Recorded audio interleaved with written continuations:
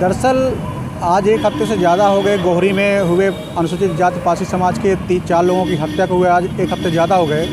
अभी तक पुलिस किसी अंतिम निष्कर्ष तक नहीं पहुँची है और सिर्फ़ निर्दोषों को पकड़ पकड़ करके उनको जो है दोषी ठहराने की कोशिश कर रही है और इसी मामले में वो पुलिस का जो रवैया देख ऐसा लगता है कि पुलिस निश्चित रूप से आरोपियों को बचाने की कोशिश कर रही है और इसमें जैसे पवन सरोज का भी नाम उछाला जा रहा है, पवन सरोज बार बार पुलिस कस्टडी में भी यही बोला है कि हम निर्दोष हूँ, हमने नहीं मारा है और कोर्ट में भी उसने कहा है कि मैंने, मुझे फर्जी फंसाया जा रहा है। और पुलिस वाले इसमें, हम निश्चित रूप से कह सकते हैं कि अब तक जो घटनाक्रम हुआ अब तक एक हफ़्ते के दौरान, उसको देख हम कह सकते हैं कि अब तक पुलिस वाले जो है सिर्फ़ निर्दोष को बचाने और और असली दोषियों को बचाने का और निर्दोषों को फंसाने की कोशिश कर रही है। और हम लोग इसीलिए इस मामले को लेकर के सीबीआई जाँच की मांग कर रहे हैं कि इस मामले का सही से खुलासा हो पटाक्षेप हो और इसी मांग को लेकर के आज हम लोग यहाँ पर अनिश्चितकालीन धरना प्रदर्शन की शुरुआत किए हैं। और जब तक यहाँ पे सीबीआई जाँच की मांग नहीं हो ज- अ, मांग पूरी नहीं होती तब तक हम लोग यहाँ पे दिन रात अनिश्चितकालीन धरना प्रदर्शन करेंगे। जिस तरह से लगातार पेपर कटिंग आ रहे हैं और बदल बदल कर बयान आ रहे हैं पेपर कटिंग में क्या कहेंगे? देखिए हमने पहले ही कहा है कि पुलिस जो है निश्चित रूप से निर्दो निर्दोषों को फंसा रही है आरोपियों को बचाने की कोशिश कर रही है और इसमें पुलिस वालों पर भी ऊपर से कहीं ना कहीं दबाव है जिसकी वजह से पुलिस का भी रोज़ नए नए बयान आ रहे हैं नए नए आरोपी पकड़े जा रहे हैं और पुलिस इस जिसकी वजह से अखबारों में रोज़ नए नए कहानियाँ गढ़ी जा रही है पुलिस की तरफ़ से। आपका क्या परिचय है? बहुजन मंच राष्ट्रीय उपाध्यक्ष नितिन इस मैटर को लेकर क्या कहना चाहते हैं? जो लगातार धरने पर आप लोग बैठे हैं अनिश्चितकालीन धरना प्रदर्शन है कब तक चलेगा? देखिए अनिश्चितकालीन इसका जब नाम ही अनिश्चितकालीन है तो समय ज़ाहिर सी बात है निश्चित नहीं है। ये जब तक पुलिस प्रशासन कोई कठोर कार्रवाई नहीं लेता है या फिर सीबीआई जाँच की मांग को हमारा स्वीकार नहीं किया जाता है तब तक ये धरना प्रदर्शन चलता रहेगा।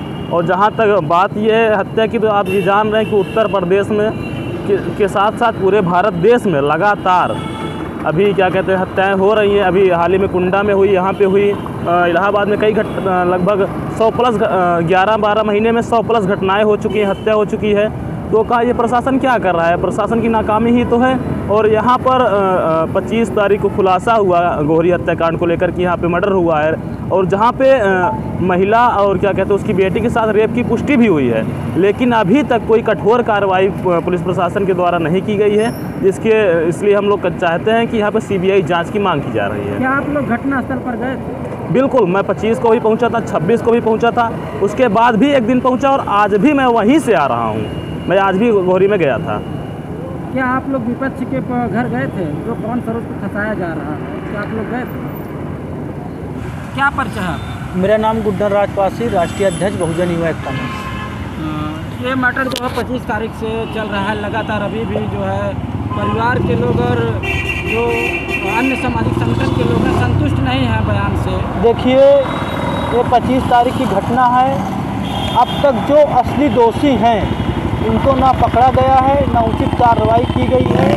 तो हमें उत्तर प्रदेश पुलिस पर बिल्कुल विश्वास नहीं है। इसलिए हम लोग पूरे संगठन सहित सीबीआई जाँच की मांग कर रहे हैं और जो पुलिस प्रशासन द्वारा पवन सरोज को पकड़ा गया है, उससे पीड़ित परिवार संतुष्ट नहीं है। पीड़ित परिवार का स्पष्ट कहना है कि पवन सरोज इस घटना में शामिल नहीं है, उसे बिना फर्जी फंसाया जा रहा है।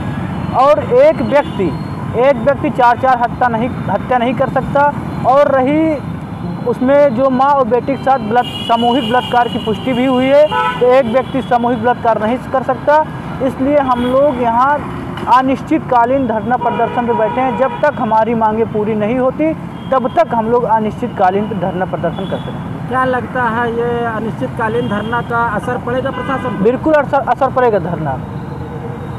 कैसा धरना कब तक चलता रहेगा कितने जब तक? सीबीआई जाँच की मांग हमारी पूरी नहीं होती तब तक हम लोग यहीं बैठे रहेंगे अपनी पूरी टीम के साथ। और आज तो अभी संख्या हमारी जो है आने वाले समय हमारी कल से बहुत बड़ी संख्या होने वाली है। नहीं अभी दिन में आज रात में कुछ लोग चले गए और है? दिन में आने के बाद रात में कुछ लोग चले जाते हैं। गोहरी हत्याकांड को लेकर आप लोग क्या कहना चाहते हैं गोहरी हत्याकांड को लेकर के हम लोग कहना चाह रहे हैं कि हम लोग धरना प्रदर्शन जो दे रहे हैं धरना प्रदर्शन अनिश्चितकालीन हम लोग बैठे हैं।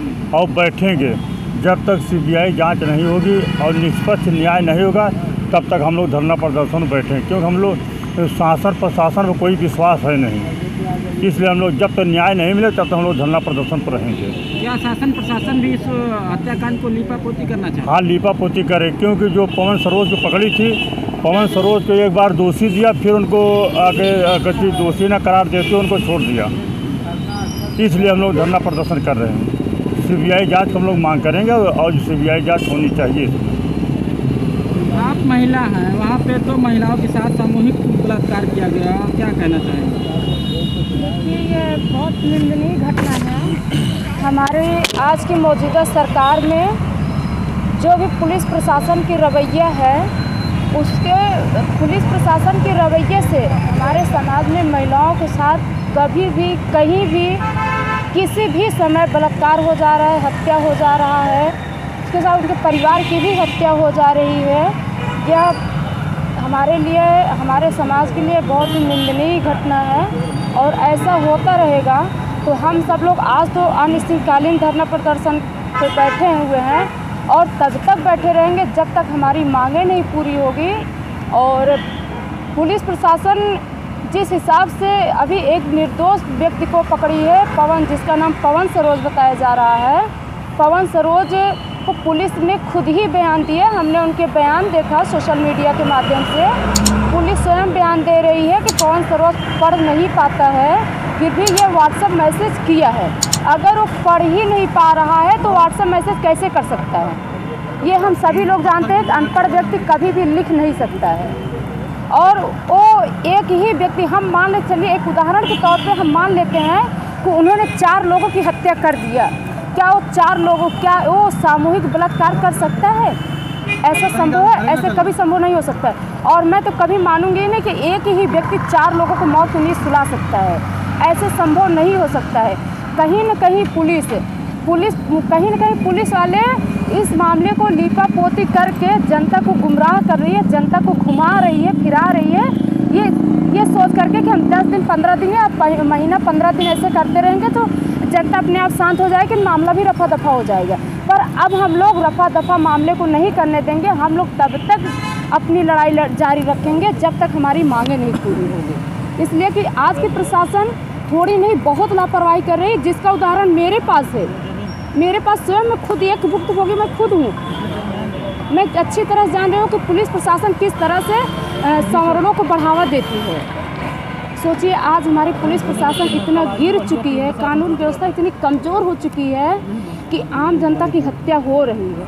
आम जनता सो, आम जनता मानसिक रूप से शोषित हो रहा है, कानूनी रूप से शोषित होता है। आर्थिक रूप से शोषण हो रहा है लेकिन उसके साथ साथ पुलिस प्रशासन जो कानून व्यवस्था की ताकतवर वर्दी पहनी हुई है उस आज वो अपने आप इतना गिरा चुकी है कि आज हम लोग उसके सामने मुर्दाबाद का नारा लगा रहे हैं। क्यों?